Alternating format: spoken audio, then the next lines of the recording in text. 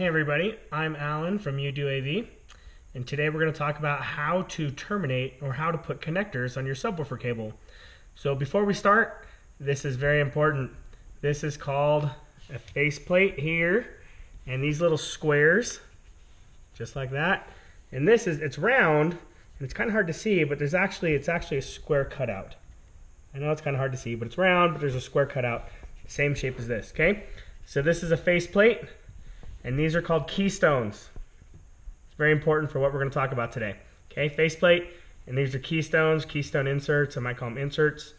So, with that in mind, let's go to the table. Now that you know what a keystone plate is, and you know what keystones are, I'm going to show you a little bit about keystones. We're going to talk about what these keystones are, why that's significant. So this is a keystone here, okay? At the plate, you're looking at the front of it, like that. This is the side view. So this is the part that's behind the wall. So when you're doing your subwoofer cable, most likely you've ran an RG6 cable or if you ran an RG59, whatever it's going to be. So you have one end of the wire is over at your rack and the other end of the wire is over here behind the keystone plate. So you need to choose what type of keystone insert you're going to use. Um, this is totally dependent upon you. Um, and you don't have to do like an RCA. You can use whatever you want. So your subwoofer is going to want an RCA cable. At the end, it's going to want an RCA connection just like that. That's what's going to connect to your powered subwoofer. So at the end, it needs to be this. But how you get to this, you can get there a lot of different ways. So instead of using a keystone plate like you saw just a second ago, you can just get a flat plate with a hole in the wall, or sorry, a flat plate with a hole in it, uh, like a 3 8 hole, and then the wire can come right out of the hole. You put a connector on it just like this, plug that into the back of your subwoofer, put a, another connector like this on the other end of the wire that's over at your AV rack or behind your AV components. And so you just go RCA to RCA, and that'll be it. That's one way to do it. Um, I personally don't like coming out of the wall with the wire, so like just that hole and then coming out of the hole with the wire. I don't like that. I think it looks kind of tacky. And if for some reason you don't want the subwoofer to be there or you move or whatever, that wire is always going to be sticking out. It kind of looks like 70s. I don't like it. So I like to use keystones.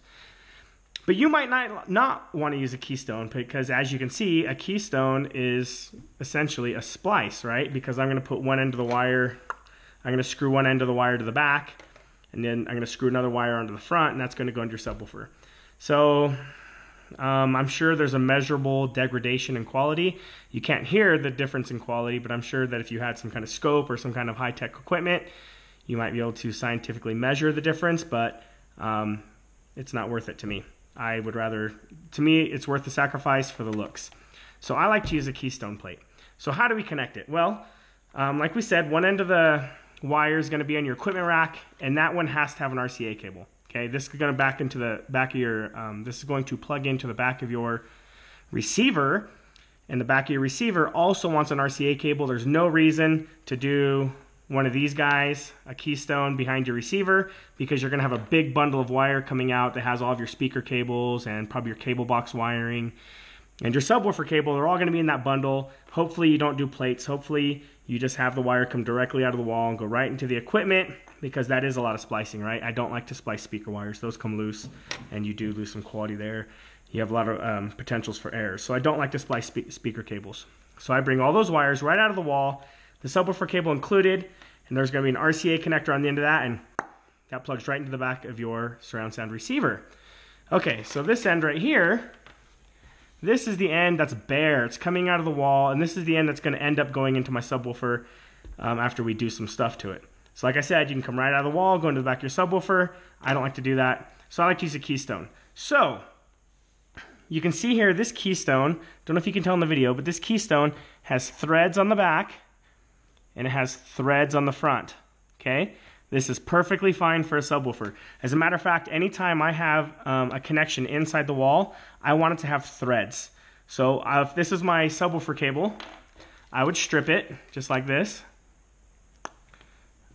Okay, this is a uh, this is RG6 wire, so this is an RG6 stripper. It's already been configured. Give her a couple spins. I have a whole video.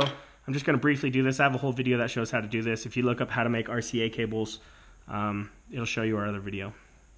So just real quick, make sure none of the wires are touching the middle. Okay, that looks really good. All my braid is pushed back. RG6 F connector goes onto the back just like that. Give her a little crimpy poo. Uh. No, a little tight. A little tight in my tool got stuck. Uh-oh.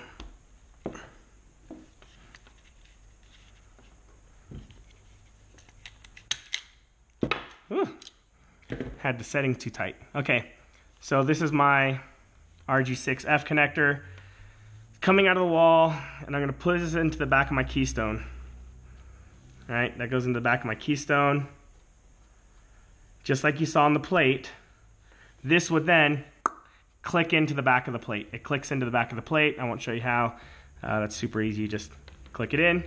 Okay, then you screw the plate on and it looks just like the video or the picture at the beginning of the video. We just have this little keystone.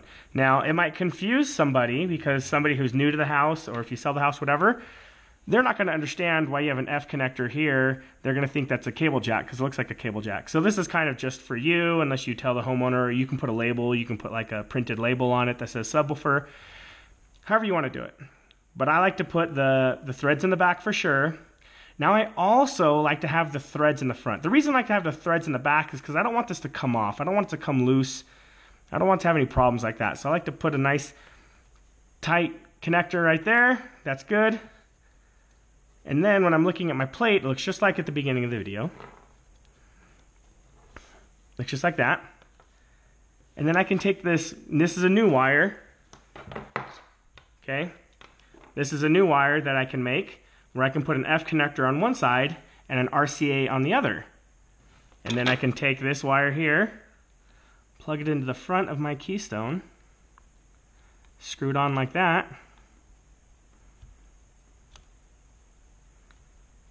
and then I know it's never going to come loose. Okay, that's going to be a good, nice, tight connection that's never going to come loose. And this side is my RCA, and then bloop, plug that into my subwoofer. Doesn't have to be like that. You can also do something like this. There's combinations of things that you can do. This right here, this is a different style keystone. This has threads in the back and has an RCA in the front. You can do that too. In this case, you would screw it into the back, just like we did before. Just like that. You screw it into the back. And then you would take another subwoofer cable and you'd plug it into the front. Ugh and then you have an RCA. So this is an RCA to an RCA. You can do that. Um, either way works. Either way, however you want it to, um, however you want it to look, is how it's going to work. But either way works. So this way, where you have an F connector going to the back, inside the wall, and then the RCA that goes to your surround sound receiver, and then you'd also have to have an RCA to an RCA, or you can do this style F connector in the back. Whoops, F connector in the back. RCA to your surround sound receiver. to an F connector in the front with an RCA going to your subwoofer cable. So both of those work. You can also do an RCA in the back. If you want to do an RCA in the back and an RCA on the front, they make barrels, all kinds of different um, varieties of barrels. We call the barrel, the actual piece of metal is the barrel. Um, the keystone is kind of the plastic thing that clicks in, and the barrel is the part that goes inside of it. And so the barrels are interchangeable. You can put different ones on there. See, there's a little nut on the back. See a little nut on the back of the barrel right there? That locks it in place. So um, if you look at the description underneath the video, look down there. We'll um, provide some links so that you guys can go to Amazon and get the right stuff. Um, if you guys have any questions, oh please um, please click the links below because when you click the links below, um, Amazon gives us a little kickback. You guys don't pay anything extra, but we get a little kickback and it kind of uh, encourages us to keep making videos. Um, so please do it that way. If you guys have any questions or some videos that you want to see that we haven't made yet, please comment below and tell your friends how much you like us and um, subscribe. So as always, I'm Alan, and today we did AV. Now you do AV.